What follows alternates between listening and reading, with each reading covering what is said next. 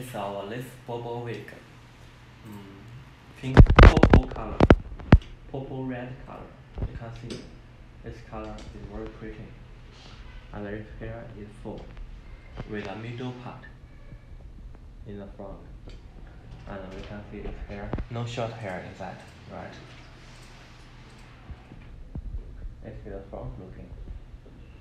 And here is the side looking. Here is the back looking.